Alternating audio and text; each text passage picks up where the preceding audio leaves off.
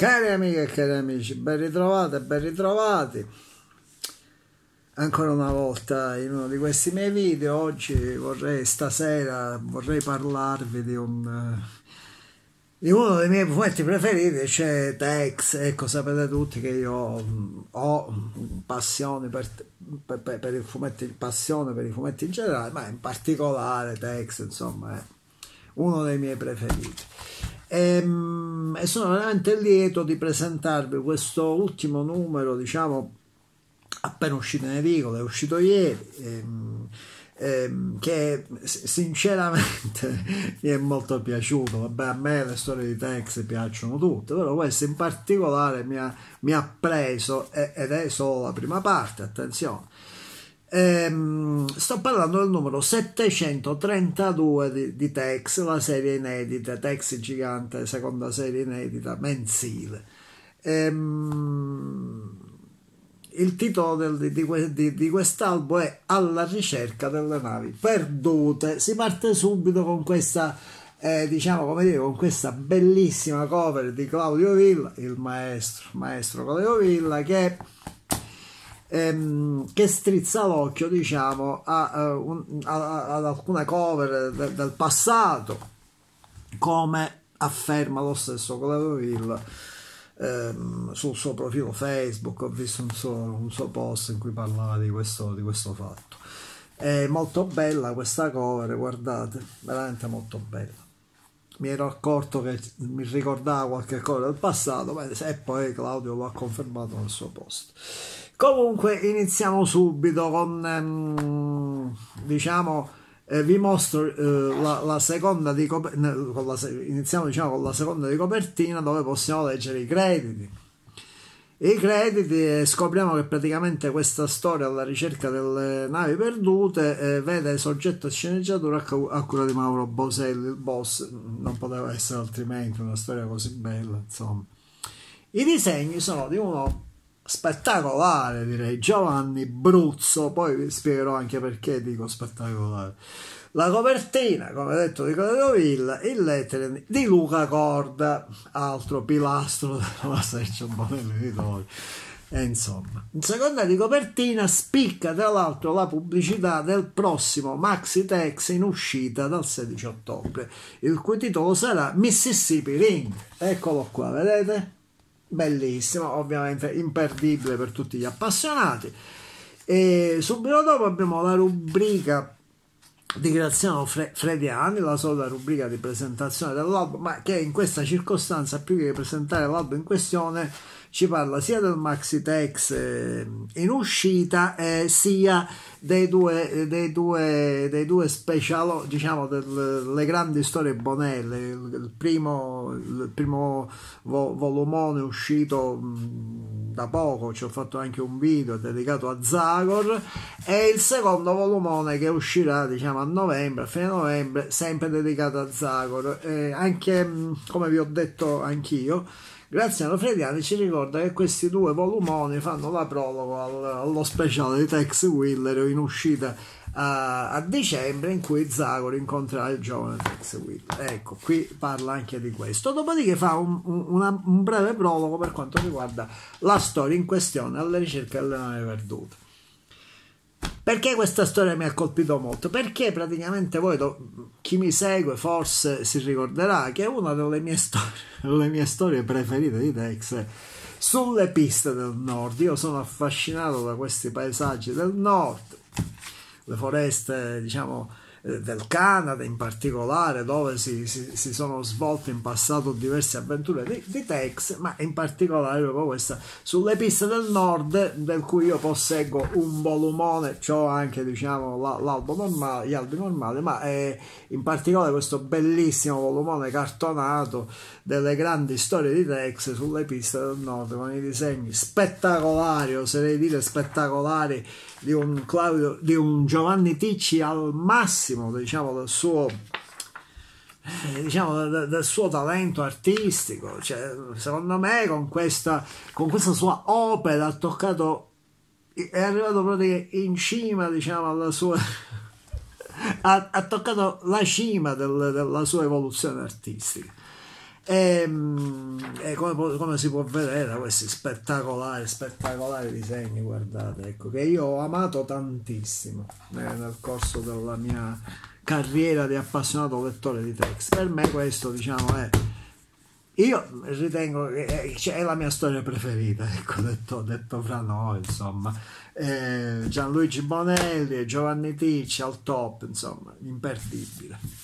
Eh, perché mm, vi, vi, parlo sull'episodio? Perché praticamente questa storia eh, rivede praticamente Tex, Carson, Kit e Tiger in Canada mm, in soccorso di Jim Brandon e diciamo Ehm, pa- tutto inizia nel Saskatchewan, la famosa regione dove iniziò la famosa rivolta, diciamo, indiana, praticamente de- di cui si parla sulle piste del nord, con i guerrieri Fox e altre tribù, eccetera, che, que- che si rivelano in qualche maniera in questa avventura.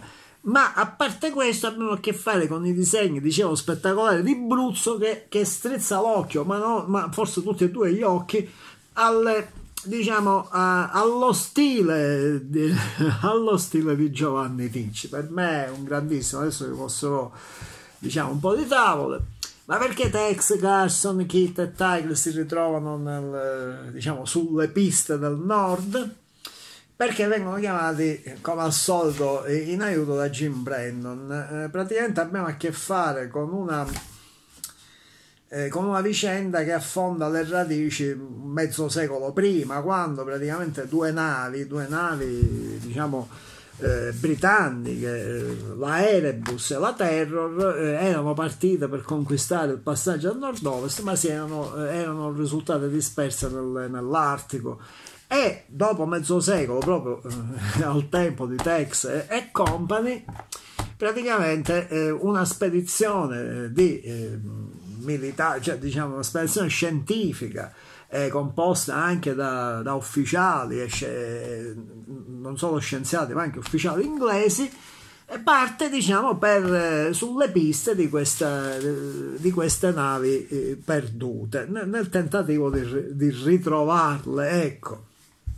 Eh, alla guida fra, l'altro di questa, di questa spedizione ci saranno due vecchie conoscenze femminili in particolare sto parlando di Down, Down per praticamente mh, mm, una ragazza eh, figlia di un, eh, di un, di un, un guerriero Inuit e di, un, di, una bianca che abbiamo conosciuto, abbiamo conosciuto, abbiamo conosciuto nel Maxi Tex eh, nei territori del nord-ovest. Io non vi mostro la versione del Maxi Tex, ma questo spettacolare volume diciamo cartonato che ovviamente gli autori erano sempre Boselli e, il disegnatore nella fattispecie la fonte in cui praticamente eh, faremo la conoscenza della giovane Down una scavezza collo da non credere. Ecco io vi mostro praticamente eh, le tavole che insomma che la riguardavano a quel tempo Ecco qui quando l'abbiamo conosciuta. Metto via il volumone, era soltanto per mostrarvi, insomma, un po', per farvi capire un po' che si tratta di una storia che affonda radici anche nel, nel passato in precedenti storie di Tex.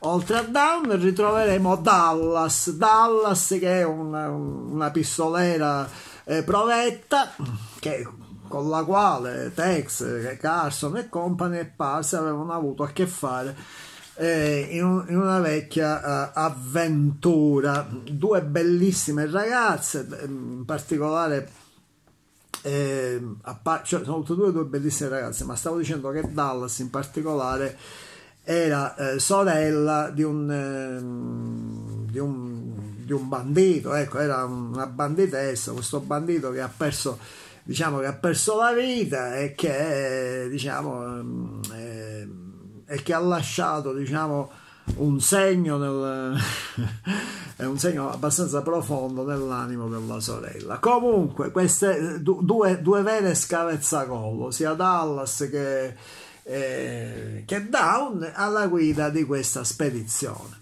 Quindi questo è diciamo eh, il pantheon dei personaggi che ci aspetta. Ma veniamo praticamente a, a mostrarvi queste spettacolari tavole, dicevo, di Bruzzo, che a partire dall'inizio, ecco guardate, ma eh, qui da, sul, sul, video non, cioè, non, non, posso rendere giustizia al buon Bruzzo, ma diciamo quando avrete le tavole in mano capirete perché insomma in qualche maniera eh, quando ho detto che strizza l'occhio a Ticci non ho esagerato perché lo stile di Ticci è abbastanza diciamo eh, come dire simile a quello, a quello di Bruzzo, ecco, diciamo, ecco, per, per dirla così.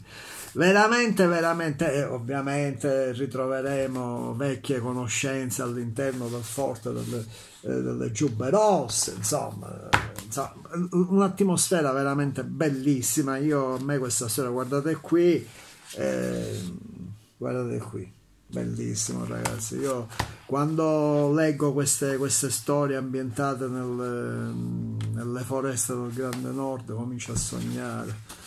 Eh, comincio a sognare vi posso dire anche l'ultimo dei Moicani insomma quelle atmosfere lì veramente belli veramente belli. E questa storia, Boselli, Boselli guardate è un genio, secondo me è un, il genio del, del, fumetto italiano è Mauro Boselli, è bravissimo, guardate, anche gli altri sono bravissimi, ma Mauro, insomma, cioè, secondo me, avete pazienza.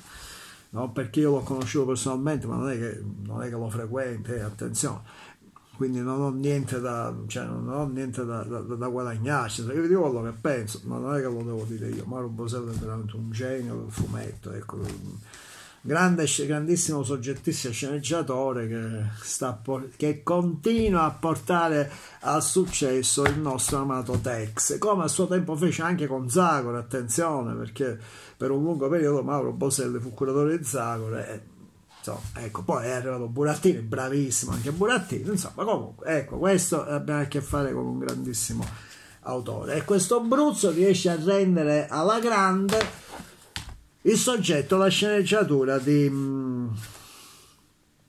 di Mauro Boselli. Guardate queste scene, qui siamo nel campo dei Fox, dove avevamo a che fare con, con uno stregone allievo dello stregone che a suo tempo aveva eh, in qualche maniera comandato oh, dietro le quinte la rivolta de, degli indiani del Saskatchewan. Eh, ecco, non so se vi ricordate nella storia sulle piste del nord. Vabbè comunque ehm, un, un, insieme di, eh, di ricordi in qualche maniera. Nella mia nella mia mente di lettore appassionato di text, di fumetti in generale, ma di text in particolare, insomma, eh, qualcosa che non, che, che non, dimentico, ecco. E quindi questa storia, pur essendo la prima parte, insomma, eh, vedremo eh, l'evolversi della vicenda, mi ha molto preso. E io sinceramente ve ne consiglio l'acquisto. non potete non non leggere questa nuova avventura di Tex. In terza di copertina abbiamo l'anticipazione del prossimo numero, il numero 733, I guerrieri della tundra, ecco qua, con l'ennesima spettacolare cover del maestro Claudio Villa, Claudio Villa, un altro genio insomma del, del fumetto italiano. In quarta di copertina, cari amiche e cari amici, udite udite, abbiamo l'anticipazione dell'evento del secolo, l'evento del secolo, la ristampa anastatica delle, delle originali strisce di Tex che sarà in edicola eh, con la Gazzetta dello Sport a partire da sabato 6, no, da, da, martedì, da martedì, ecco, da martedì prossimo, insomma, sarà, sarà in edicola, non sabato, martedì, se non vado errato martedì, vediamo un po' qui, se, dal 12 ottobre, quindi da martedì da martedì prossimo potremo trovare in edicola le eh, bellissime strisce di Tex.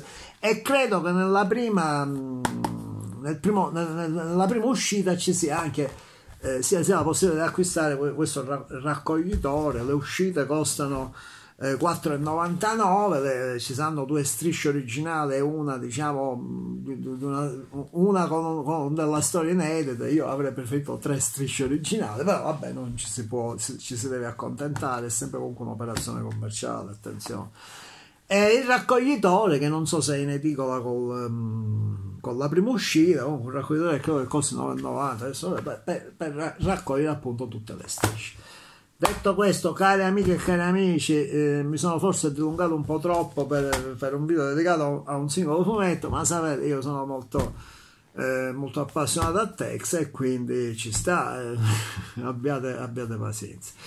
Detto questo, non posso fare altro che salutarvi ancora una volta con un grosso abbraccio dal profondo del mio cuore, augurando nel contempo un buon proseguimento di serata. Oggi è venerdì, venerdì 8 ottobre 2021 e dando appuntamento esclusivamente a voi piacendo per il mio prossimo video. E come sempre, alla prossima.